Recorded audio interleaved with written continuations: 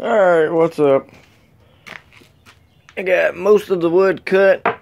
I'm lacking a few pieces, mainly for the port and the back, but uh, I got most of the wood cut. My brother's supposed to come over tonight, Robert.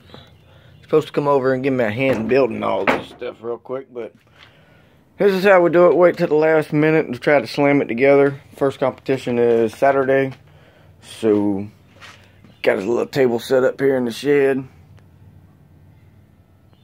Little quick makeshift table. It'll work just fine.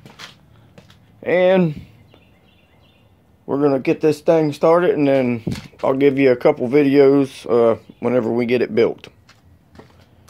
But there it is.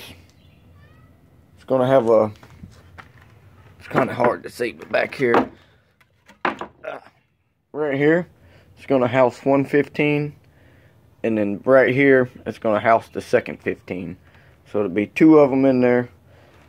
Uh, that big piece there that's the bottom. Right there get the little one out the way. That guy's the bottom with the kickover port which go behind the seat which is like six inches or something like that. It's pretty long port. Actually might have to cut that dang thing down. But we'll give a couple test fits before we go any further. Alright I'll give you some videos at the end of this build tonight might be a late one, so peace.